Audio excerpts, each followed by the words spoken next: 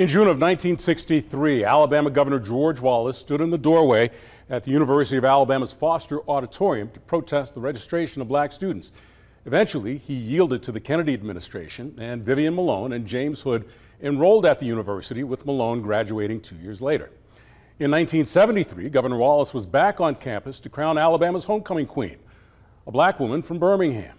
Fifty years later, that queen, Terry Points Bonet, was invited back to campus by the Culverhouse School of Business. And during her visit last week, I got a moment to talk with her about the impact of her journey, which started by her establishing herself almost immediately as a campus leader. I came down to band practice in August and school started in September. So I guess I got established on campus as a representative of the Alabama in the band. And it went from there. I was president of Fitz Hall, and I was president of Tutwiler Hall. I also was a representative to the Student Government Association for Women's Dorms. So being elected to something at the university, homecoming queen was not the first thing that I was elected to. But ask Terry Points Bonet about the most important change on campus that allowed her to be elected by her fellow students, and her answer is unequivocal. Well, what allowed me was Vivian Malone graduating from the University of Alabama. That, first and foremost, was the thing that allowed me that we had someone graduate from here. We also had Diane Kirksey, who was in the homecoming court.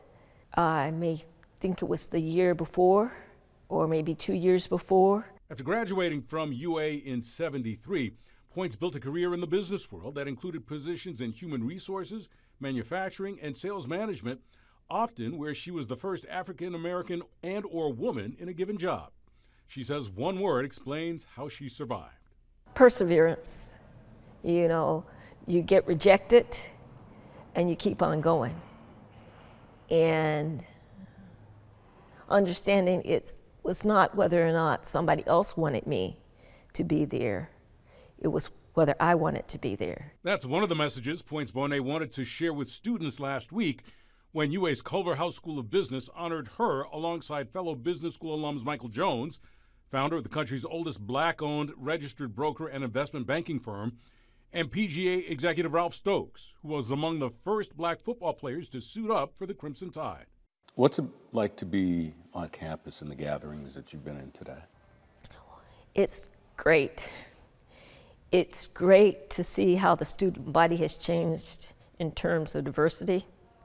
It's great to see the number of women that are in the business, black women that are in the business school, and black men. It's just, it just makes me excited and while Points Bonet was one of the people who helped integrate the campus, she now wants the campus and society to move toward a new goal. Integration was about being there. And what we're talking about now is different than integration. We're talking about inclusion. What is the difference? The difference is being in an environment, but inclusion is being accepted in that environment, being welcomed in that environment, being asked to participate in that environment. Points Bonet says the night she was elected homecoming queen, she thought her chances of winning were actually so small that she never told her family she was a candidate until after she'd won. So while they weren't on campus that Friday night that she won, her grandfather and sister, her sister still lives here in Birmingham, she says, were on hand to see her crowned at the football game that Saturday.